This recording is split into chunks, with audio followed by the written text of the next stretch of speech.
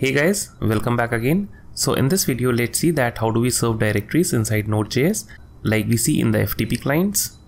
So here is that completed application as we can see that here we are serving this directory that is called FTP and here are a couple of files inside this directory that is this image file. So if we click on the image file, we can view it. And then if we click on this dummy.pdf file, then we can also view the PDF file here. And if we go back and if we want to go further into another directory that is the swan pack. So let's go inside this and here we can again do the same things. So to go back we can click here.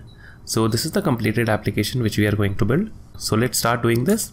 So let's go here and here I've created a new directory that is called served and if we look at into it it's an empty directory. So let's initialize a new npm project inside it uh, with the default values. So npm init hyphen y and then we create our app.js file. That will be the entry point for our application. So touch app.js to create this app.js file. And inside this uh, directory I would also like to create a folder that is called public. So make the public like this. And now let's open our application. So I'm using VS Code here. So I can do code dot to open VS Code so now let's go full screen. Let's close this. So let me increase the font size. So now let's look at the package.json file. And here we have a single script. That is a test script.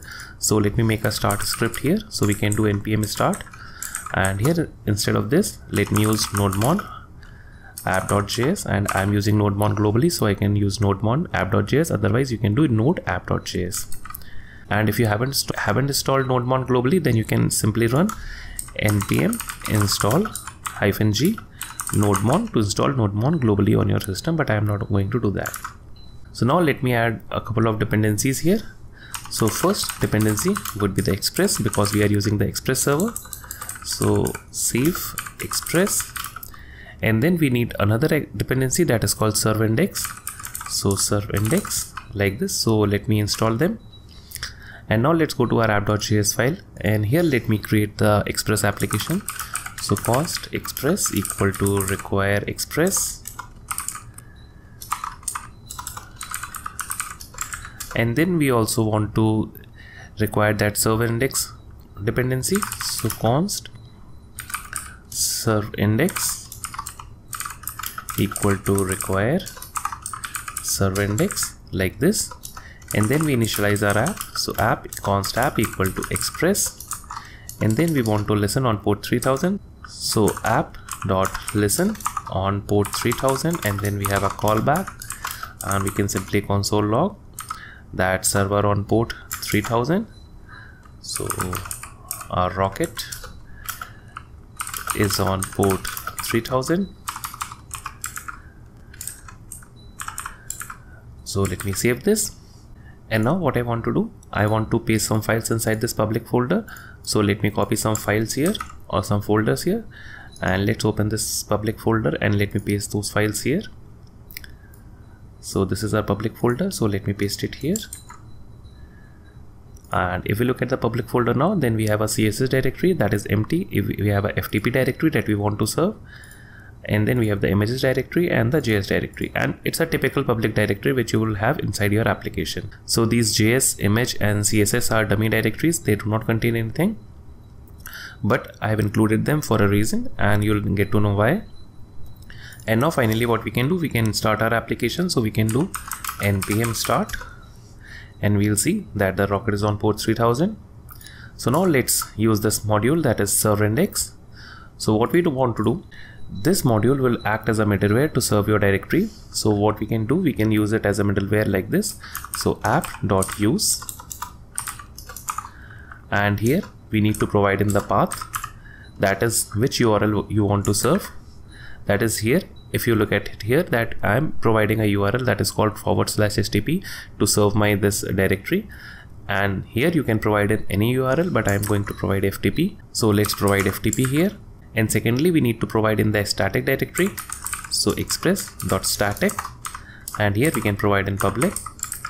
And this is the wrong thing which I am doing but I'm doing it for a reason. And this is because I just want to show it to you that why it is wrong. And then I want to use this middleware that is serve index and here we need to provide in the path.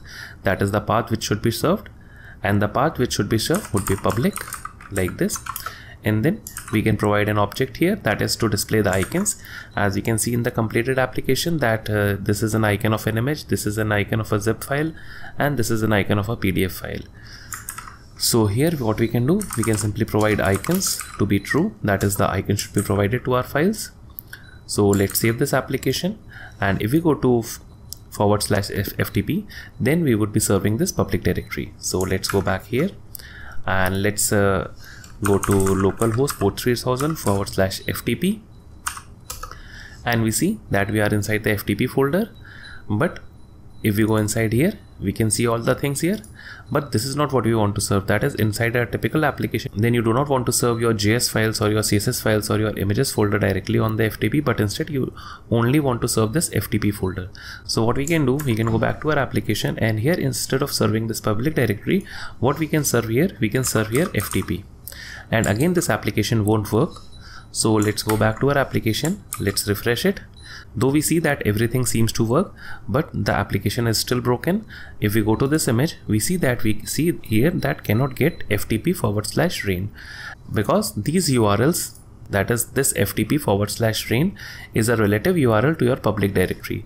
So what we can do we can go back here and instead of making this public directory static what we can do we can simply put here forward slash ftp that is we want to make this ftp directory to be used as a static directory for this route. So let's save this application and this time everything will work fine. So let's go back let's refresh it and we see our image so let's go back again. Let's click on this bulldog file here and we see two playful bulldogs are playing. So let's go back let's open this dummy.pdf file and it is working. And if we click on this uh, sample.zip file it would be directly downloaded. So let's click here and we see that the file is downloaded. If we go, to the fonts pack and if we click on this file it would be automatically downloaded. If we click on this file this would be again be automatically downloaded. If you want to go up one folder we can simply click here the dots here or what we can do we can simply click on ftp here. And if we want to go to the root route so let's click on this uh, tilde here. Then we see that cannot get because we haven't handled the home route and if you want to handle the home route then you can handle it the typical way. And you can also search for the files. So suppose if I want to search for this rain file so if I type rain here it would be highlighted like this. So let me clear out this. If we click on sample here we see that the two files with the name of samples have been highlighted. So this is a very nice dependency to use inside your application in case you need it so that's all about this application. And if you have liked the video do hit the like button. And if you haven't subscribed to our channel do subscribe to my channel. And if you want you can support me on the links in the description below. So thank you. Bye bye tata. Take care and have a good day